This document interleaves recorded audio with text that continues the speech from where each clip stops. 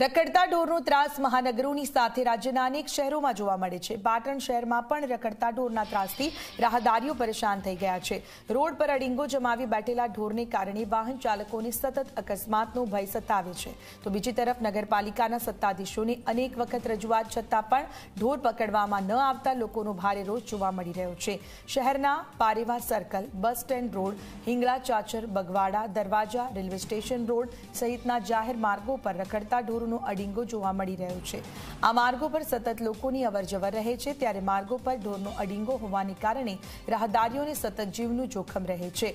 વયોવૃદ્ધ લોકોને તો બહાર નીકળવું પણ મુશ્કેલ બની ગયું છે.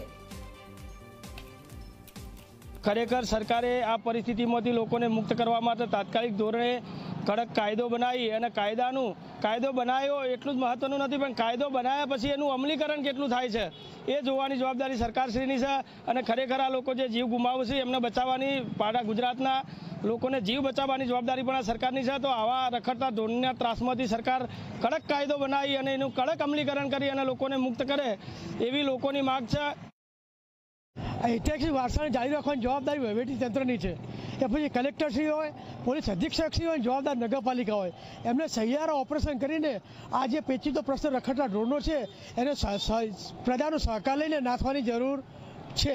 વહીવટી તંત્ર કલેક્ટરશ્રી હોય કે નગરપાલિકા હોય કે પોલીસ અધિક્ષકશ્રી હોય, ફક્ત જ્યારે ઇસ્યુ ઊભો થાય છે, ત્યારે ફક્ત ને ફક્ત એક ફોટો પડાવી, પ્રેસ નોટ આપીને પોતે કામગીરીનો અહેસાસ માને છે. પરંતુ સ્થળ કોઈ કોઈ પણ કામગીરી થતી નથી.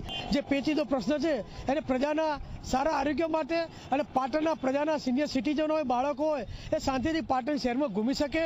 એ માટે પ્રશ્ન સત્વરે ઉપાડો અને લોકોનો સહકાર લઈ, સામાજિક સંસ્થાનો સહકાર લઈ આ પ્રશ્નને નિકાલ કરવા માટે યોગ્ય પગલાં ભરો. છેલ્લા ચાર વર્ષની અંદર ચારથી પાંચ માણસો આપણે એનું ધ્યાન થઈ ગયું છે રોડના કારણે. અને કેટલા લોકો ફ્રેક્ચર થઈ ગયા છે. જેવા પાટણના એવા ભાજપના પૂર્વ પ્રમુખ પણ એનો ભોગ બન્યા છે. આવા કપરા સંજોગોમાં ઢોરોનો યોગ્ય નિકાલ કરી અને કડક કાયદો બનાવે. અને નગરપાલિકાને પણ કહું છું કે નગરપાલિકા પાજરું તો કાઢે છે. આજે એકે પાજરું ચાલુ નથી, પણ ઓછામાં ઓછા બેથી ત્રણ પાજરા હોવા જોઈએ. પાજરા નગરપાલિકા કાઢે છે, ઢોર માલિકો એની જોડે જોડે જ હોય છે. ઢોરોને આખી કાઢે, કર્મચારી પર દાદાગીરી કરે છે. પણ એવા સંજોગોમાં પોલીસે એમનું પ્રોટેક્શન આપવું જોઈએ.